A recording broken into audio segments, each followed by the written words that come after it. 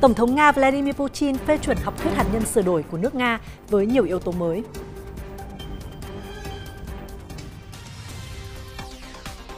Mỹ đề xuất một số giải pháp để nâng cao hiệu quả chi ngân sách trong nhiệm kỳ mới.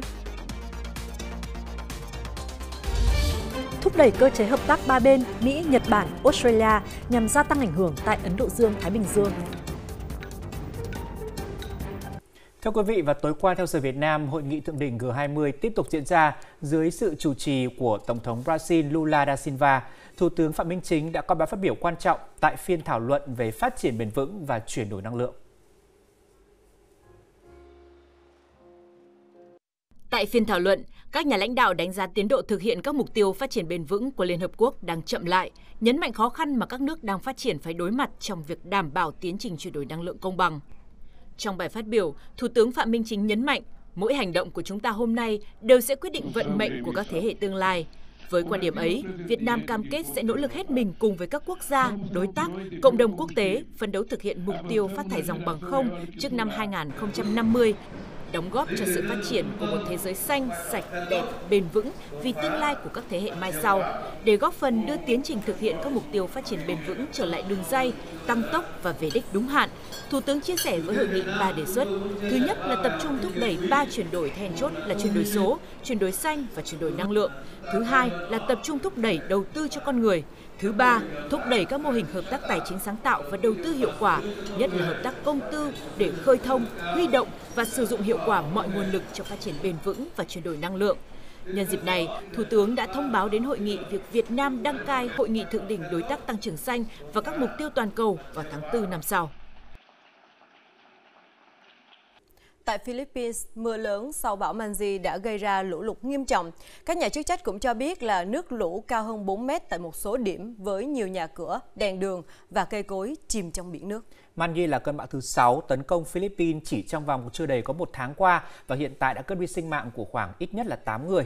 Tại thành phố Langan thuộc tỉnh Isabela lân cận, thì quan chức Ủy ban phòng chống thiên tai của địa phương này cho biết là đã có 30.000 người vẫn chịu ảnh hưởng của lũ lụt, nhưng thì tình hình đang dần được cải thiện. Khả năng nước chỉ có thể rút hoàn toàn sau ít nhất là 3 ngày nữa. Bão Manji đẩy hơn 1 triệu người vào cảnh phải sơ tán, phá hủy các căn nhà, đồng thời gây mất điện tại nhiều địa phương. Còn tại Ấn Độ thì số vụ đốt dâm dạ trái phép ở miền Bắc của nước này đã đạt mức cao kỷ lục trong mùa này, gây ra tình trạng khói bụi độc hại. Hiện tại thì khói bụi đang ảnh hưởng đến sức khỏe của hàng triệu người dân ở nhiều khu vực, trong đó có cả thủ đô New Delhi. Kể từ tháng 9 đến nay thì bang Punjab đã ghi nhận gần 10.000 vụ đốt dâm dạ. Hàng chục nghìn nông dân ở các bang Punjab, bang được gọi là vựa lúa mì của Ấn Độ, thường đốt tàn dư cây trồng vào đầu mỗi mùa đông, dọn sạch ruộng lúa mới để thu hoạch nhường chỗ cho lúa mì vụ tiếp theo. Hoạt động này bị cấm, thế nhưng việc thực thi pháp luật tại đây còn lòng lẻo. Trong khi đó thì đây vẫn là cách rẻ nhất và nhanh nhất để nông dân chuẩn bị ruộng cho vụ vụ tiếp theo. Lần đầu tiên, Nga triển khai sản xuất hàng loạt phòng trú ẩn mô đun di động có khả năng bảo vệ con người khỏi các mối đe dọa khác nhau, bao gồm bức xạ ánh sáng từ vụ nổ hạt nhân và ô nhiễm phóng xạ trong khu vực. Hiện tại thì việc sản xuất phòng trú ẩn cải tiến này đang được tiến hành ở thành phố Denis thuộc vùng Nizhny Novgorod. Thông tin thêm từ phóng viên Nhật Linh, thường trú tại Nga. Theo công bố của Viện Nghiên cứu Toàn Nga về phòng thủ dân sự và các trường hợp khẩn cấp, việc sản xuất hàng loạt cấu trúc bảo vệ dạng mô đun cải tiến cúp M đã bắt đầu. Đây là kết quả nhiều năm nghiên cứu và nỗ lực của nhà khoa học và chuyên gia trong lĩnh vực bảo vệ người dân và vùng lãnh thổ khỏi tình huống khẩn cấp. Theo thiết kế, thành phần cơ bản của cúp M bao gồm hai mô đun, một không gian thể chứa được 54 người và một block kỹ thuật. Sức chứa của nơi trú ẩn có thể gia tăng bằng cách lắp đặt thêm các mô đun. Ưu điểm chính của cúp M so với các công trình phòng thủ dân sự khác là tính cơ động. Nếu cần thiết có thể vận chuyển bằng đường bộ hoặc đường sắt đến địa điểm mới để xây dựng và kết nối với mạng lưới tiện ích hiện có. Các chuyên gia nhấn mạnh, việc sản xuất, vận chuyển và lắp đặt một nơi trú ẩn như vậy có giá chỉ bằng một nửa so với một hầm trú ẩn cố định, mà thời gian sản xuất và lắp đặt không quá 3 tháng. Theo các chuyên gia, các công trình phòng thủ dân sự hiện có ở Nga thì không đủ để che chở cho toàn bộ người dân.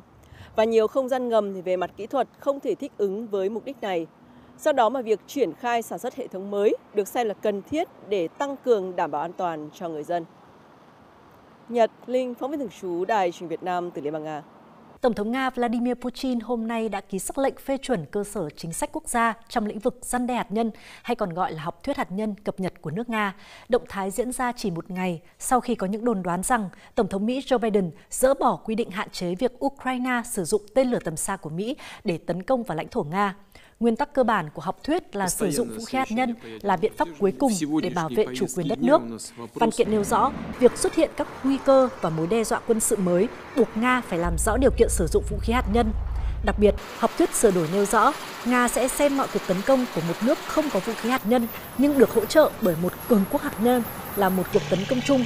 Moscow cũng bảo lưu quyền xem xét đáp trả hạt nhân đối với một cuộc tấn công bằng vũ khí quy ước như các vụ phóng quy mô lớn máy bay, tên lửa và thiết bị bay không người lái nhằm vào lãnh thổ Nga là mối đe dọa chủ quyền đối với Moscow.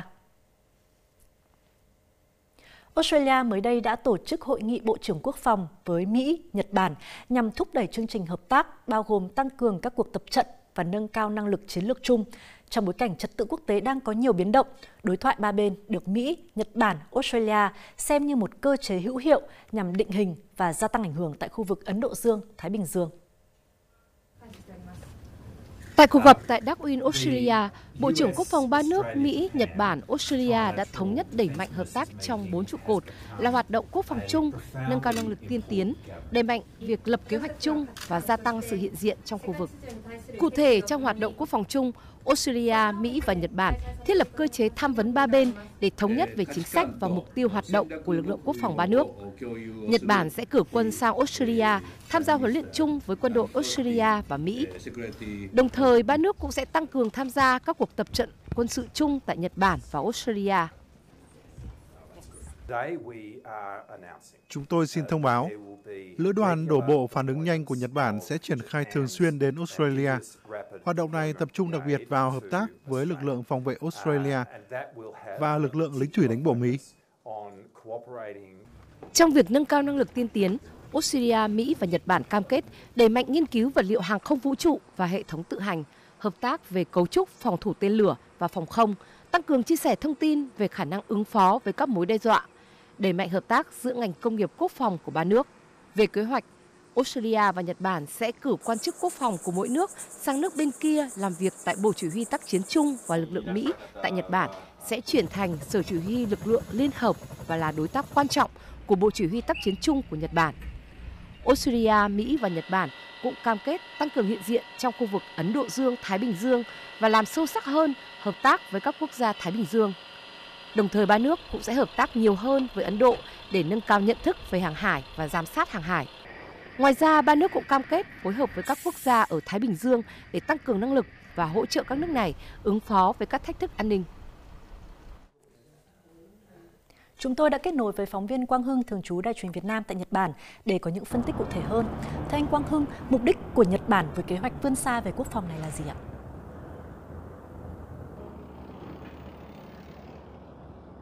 À, vâng, trong sách trắng quốc phòng năm 2024 mà chính phủ Nhật Bản công bố vào tháng 7 vừa qua đã đánh giá Nhật Bản đang phải đối mặt với môi trường an ninh nghiêm trọng và phức tạp nhất kể từ sau Thế chiến. Các hành động gần đây của nước này cũng hướng tới mục đích là ứng phó với môi trường an ninh nghiêm trọng này. Mục tiêu tiếp theo đó là Nhật Bản muốn tăng cường vai trò trong các vấn đề an ninh toàn cầu, trở thành một quốc gia có trách nhiệm lớn hơn trong các vấn đề an ninh của khu vực và quốc tế theo đó, Nhật Bản củng cố các quan hệ đồng minh, à, củng cố với các nước có cùng chí hướng. Nhật Bản đang muốn mở rộng chương trình xuất khẩu vũ khí, tập trung vào các nước đồng minh và các nước có cùng chí hướng, nhằm vực dậy nền công nghiệp quốc phòng của nước này, đồng thời đẩy mạnh à, công tác nghiên cứu về công nghiệp quốc phòng. Ngoài ra, Nhật Bản đang tăng cường hợp tác nhằm ứng phó với các thách thức à, an ninh mới như là an ninh kinh tế, tấn công mạng, an ninh trong lĩnh vực không gian vũ trụ Vâng, xin mời trường quay. Vâng, vậy thì liệu các mục tiêu và tham vọng của Nhật Bản về vấn đề quốc phòng thì có thể đối mặt với những thách thức nào trong thời gian sắp tới khi mà chính quyền Mỹ sắp có sự thay đổi ạ? À, vâng, theo dư luận của Nhật Bản thì có thể nước này phải đối mặt với áp lực tăng chi phí quốc phòng từ chính quyền mới của Mỹ. Đáng chú ý là chi là chi phí đối với lực lượng Mỹ đồn trú tại Nhật Bản dưới thời của cựu Thủ tướng Fumio Kishida, Nhật Bản đã có kế hoạch tăng chi tiêu quốc phòng lên 2%, vào năm 2027.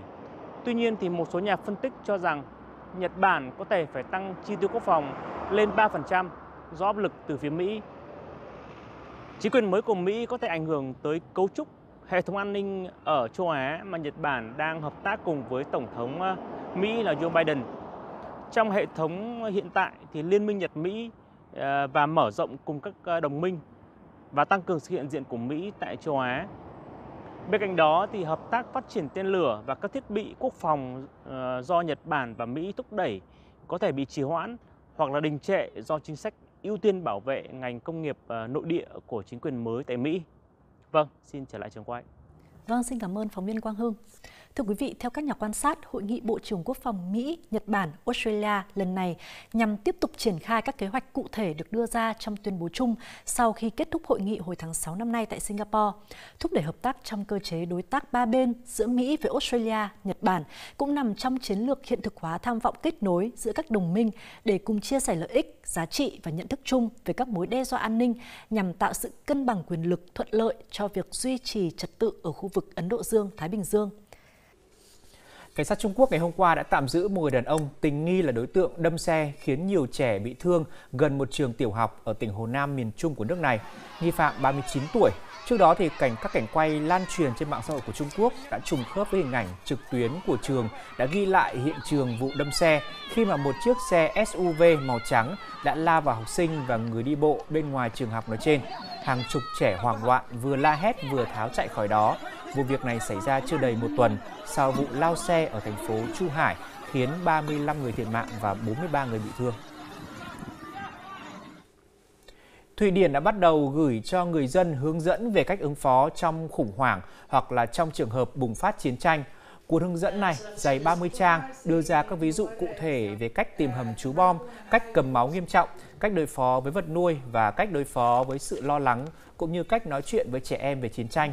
Ngoài ra thì tài liệu này còn bao gồm thông tin về những việc cần làm trong trường hợp bom hạt nhân được sử dụng. Lần cuối Thụy Điển phát hành hướng dẫn trong thời kỳ khủng hoảng hoặc chiến tranh là vào năm 2018 và phiên bản mới cập nhật này tập trung nhiều hơn vào chiến tranh do hậu quả của các cuộc xung đột trên thế giới. Thưa quý vị, trong phiên giao dịch đêm qua theo giờ Việt Nam thì chứng khoán Mỹ nhìn chung vẫn ghi nhận diễn biến tích cực với hai trong ba chỉ số chính của phố Wall đã tăng điểm. Cổ phiếu công nghệ đặc biệt là Nvidia tiếp tục là động lực quan trọng thúc đẩy đà tăng của thị trường trong phiên này. Chốt phiên, cả chỉ số S&P 500 và Nasdaq đều ghi nhận kết quả tích cực, trong đó Nasdaq bật tăng hơn 1%, chỉ số Dow Jones ghi nhận mức giảm nhẹ. Điểm sáng của thị trường trong phiên này là các cổ phiếu công nghệ giá trị vốn hóa lớn. Cổ phiếu Nvidia bật tăng gần 5% ngay trước thêm công bố báo cáo tài chính hàng quý, trong khi cổ phiếu của Tesla, Alphabet và Amazon cũng tăng mạnh. Cổ phiếu của hãng bán lẻ Walmart cũng góp phần hỗ trợ thị trường với mức tăng mạnh 3% sau khi hãng công bố kết quả và triển vọng kinh doanh tốt hơn so với dự kiến. Các số liệu mới công bố ngày thứ ba đã xác nhận rằng tỷ lệ lạm phát tại Eurozone trong tháng 10 tăng 2% so với cùng kỳ năm ngoái. Mặc dù cao hơn so với mức 1,7% của tháng 9, con số này có thể không gây ra quá nhiều lo ngại bởi các nhà hoạch định chính sách Ngân hàng Trung ương châu Âu ECB đã dự đoán trước rằng lạm phát sẽ tăng tạm thời trong những tháng cuối năm. Tuy nhiên thì các quan chức lại đang lo ngại nhiều hơn về những rủi ro có thể ảnh hưởng đến tăng trưởng của kinh tế châu Âu. Đây sẽ là yếu tố có thể tác động đến lộ trình lãi suất của ECB trong thời gian tới.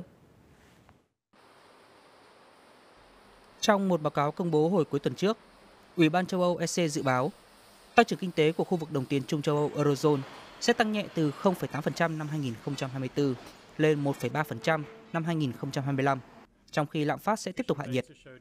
Tuy nhiên, EC cũng cảnh báo về những rủi ro phát sinh từ căng thẳng địa chính trị cũng như hoạt động đầu tư yếu và chi phí sinh hoạt cao.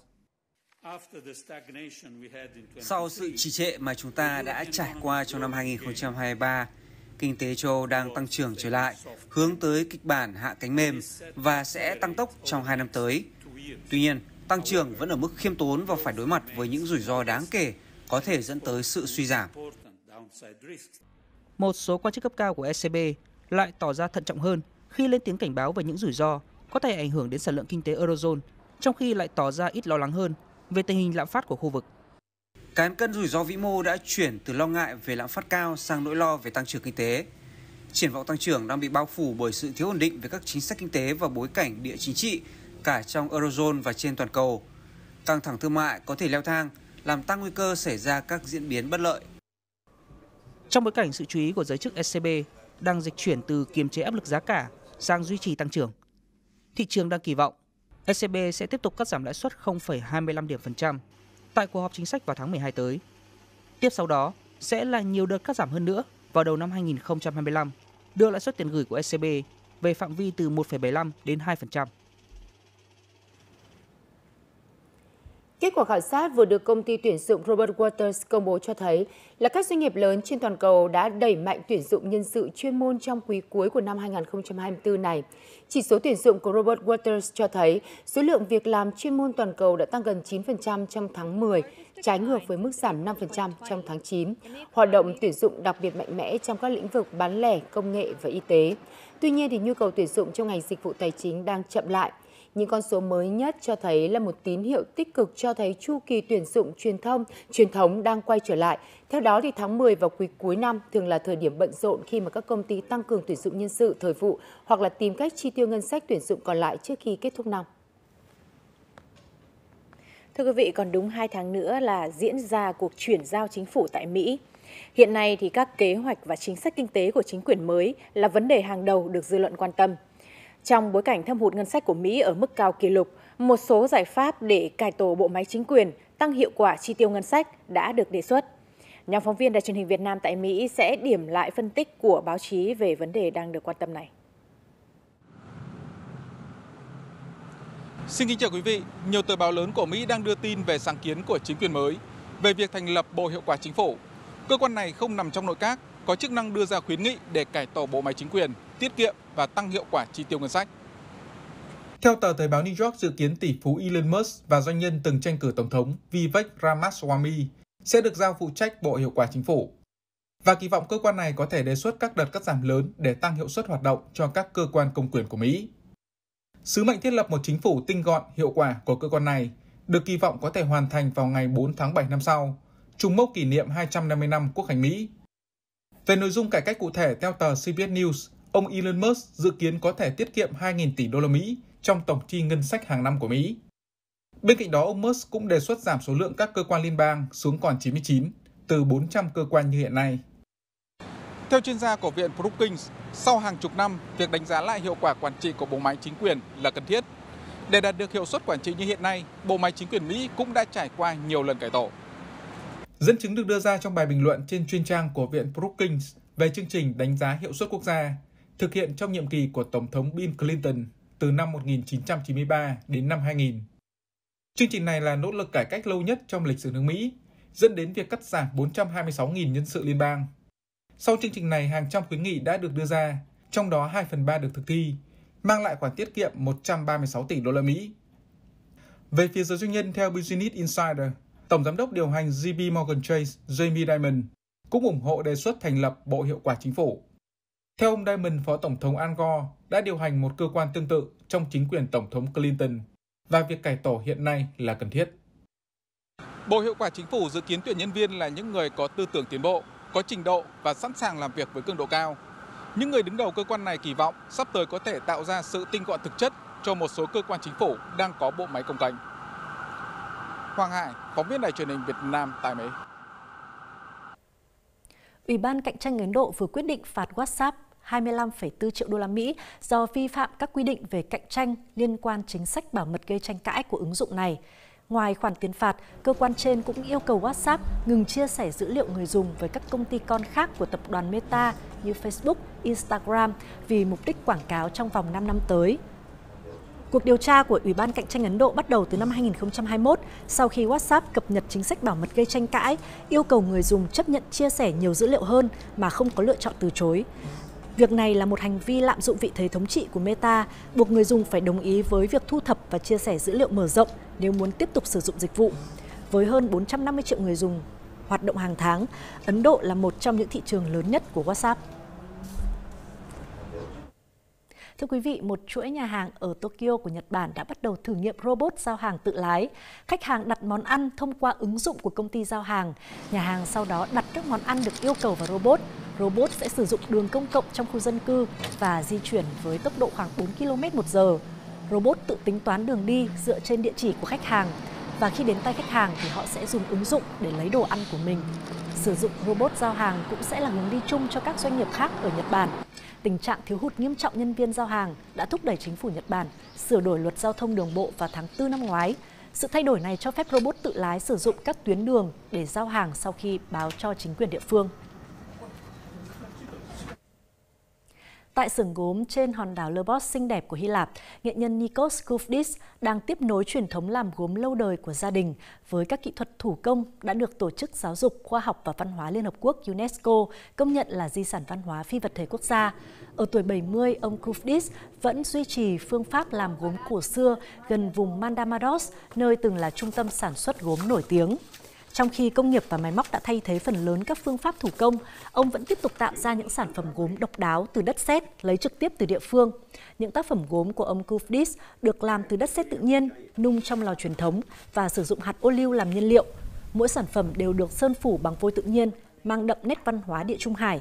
Đây là một trong số ít các sản phẩm gốm ở khu vực này còn giữ được phương pháp sản xuất thủ công truyền thống.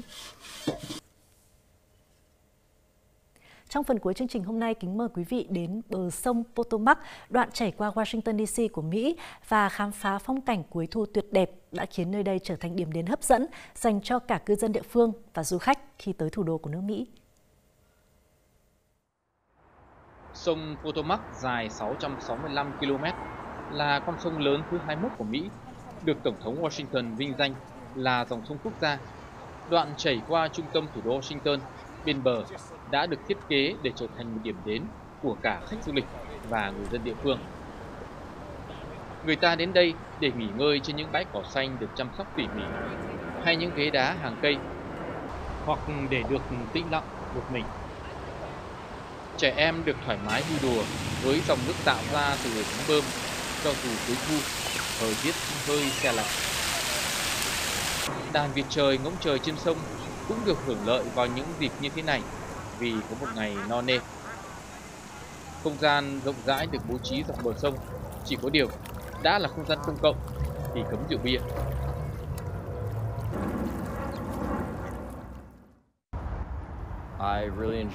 Tôi đặc biệt thích những bãi cỏ ở đây. Còn ngoài sông thì các loài chim bay lượn. Tôi cũng thích chèo thuyền trên sông với không gian rộng lớn. Vào mùa thu, khi các cây chuyển sang màu vàng, cảnh sắc thật tuyệt vời. Cảng Washington ở Yorktown cũng nằm trong khu vực này, kết nối với các điểm ăn uống, du thuyền, khách sạn. Là không gian riêng, nhưng các con đường và bờ sông thì thuộc về không gian công cộng, nơi mọi người có thể qua lại và luyện tập thể thao. Nó cũng là nơi ưa thích của những người đạp xe, chạy bộ hay ngắm dòng sông vào buổi chiều. Bất cứ khi nào thời tiết cho phép là tôi đạp xe quanh đây. Thời tiết mùa thu tháng 11 ở đây rất đẹp. Lúc nào cũng khoảng 20 độ C, chưa lạnh quá. Trong ngày có những lúc thời tiết lại giống như mùa hè. Nó lại ở trong một thành phố rất đẹp, có tất cả mọi thứ với sự đa dạng về sắc tộc. Và đặc biệt là có rất nhiều quán ăn ngon theo kiểu Âu và Á. Bờ sông Potomac cũng là nơi được người Mỹ lựa chọn để xây dựng từ đầu thủ đô Washington DC và ý tưởng xây dựng thủ đô là nơi làm việc của chính quyền liên bang với nhiều cây xanh cỏ cỏ giữ được sự đa dạng sinh học để con người có thể sống hòa bình thiên nhiên. Thư giãn xung quanh khu vực bờ sông Potomac này để lấy lại cân bằng sau mỗi ngày làm việc trở thành một thói quen của người dân Washington DC. Tạo ra nhiều không gian công cộng trong đô thị để người lớn, trẻ em được thư giãn cũng là cách tạo ra một đô thị đáng sống cho sự phát triển bền vững. Thái Thành, phóng viên truyền hình Việt Nam tại Mỹ. Giới chức y tế Ba Lan đã kêu gọi tiêm vaccine phòng bại liệt cho trẻ em sau khi phát hiện virus bại liệt trong hệ thống nước thải tại thủ đô Warsaw. Cơ quan thanh tra an toàn vệ sinh nhà nước Ba Lan cho biết là sự hiện diện của virus bại liệt trong nước thải không đồng nghĩa với việc là có ca nhiễm bệnh. Tuy nhiên, những người chưa được tiêm vaccine phòng bại liệt có thể đối mặt với nguy cơ cao. Cùng với lời kêu gọi tiêm chủng thì giới chức Warsaw cũng tăng cường kiểm tra nước thải để có thể kiểm soát nguy cơ lây lan. Một khu chợ ở Nghĩa Ô, tỉnh Chiết Giang, Trung Quốc đã giới thiệu dịch vụ mới cho phép khách hàng chế biến thực phẩm tươi sống ngay tại chỗ. Với một khoản chi phí nhỏ, người mua sắm có thể giao nguyên liệu họ vừa mua, bao gồm cả rau cá hoặc là thịt cho đầu bếp và yêu cầu chế biến tại chợ để mang về nhà dùng bữa ăn. Dịch vụ này thu hút nhiều đối tượng khách hàng khác nhau, từ những người trẻ tuổi không có thời gian nấu ăn cho tới những người cao tuổi đang tìm kiếm các lựa chọn bữa ăn lành mạnh hơn. Xuất khẩu gạo của Thái Lan từ đầu năm đến nay đã tăng hơn 20% so với cùng kỳ của năm ngoái. Kết quả này đã vượt gần 200.000 tấn so với mục tiêu mà nước này đặt ra. Thông tin thêm của phóng viên Ngọc Phương, thường trú tại ASEAN. Số liệu do Bộ Thương mại Thái Lan công bố cho thấy, từ đầu năm cho đến tháng 10, nước này đã xuất khẩu được hơn 8,3 triệu tấn gạo. Theo Bộ Thương mại Thái Lan, xuất khẩu gạo của nước này tăng mạnh là nhờ các đơn hàng liên tục năng suất lúa vụ mùa tăng và chất lượng cao nhờ nguồn cung cấp nước đầy đủ để canh tác cũng như nhu cầu cao đối với gạo thơm Thái Lan tại các thị trường trọng điểm. Bộ Thương mại Thái Lan cho rằng trong quý cuối cùng của năm nay, xuất khẩu gạo của nước này sẽ tiếp tục khi vụ thu hoạch đang đến gần, với các đơn đặt hàng được thúc đẩy từ các thị trường lớn để chuẩn bị cho Giáng sinh và năm mới và đồng bạc yếu. Và để hỗ trợ ngành lúa gạo, Bộ Thương mại Thái Lan cũng đang đẩy nhanh việc triển khai các biện pháp ổn định giá gạo nhằm ngăn chặn giá gạo giảm trong vụ lúa năm nay do tình trạng cung vượt cầu trong vụ thu hoạch. Theo Bộ Thương mại và Hiệp hội xuất khẩu gạo Thái Lan, thì xuất khẩu gạo của nước này trong năm nay sẽ đạt khoảng 9 triệu tấn với trị giá ước đạt hơn 6,4 tỷ đô la Mỹ nhờ các đơn hàng từ các thị trường lớn như là Hoa Kỳ, Hồng Kông Trung Quốc và Canada. Ngọc Phương, phóng viên Việt Nam, thường trú tại ASEAN.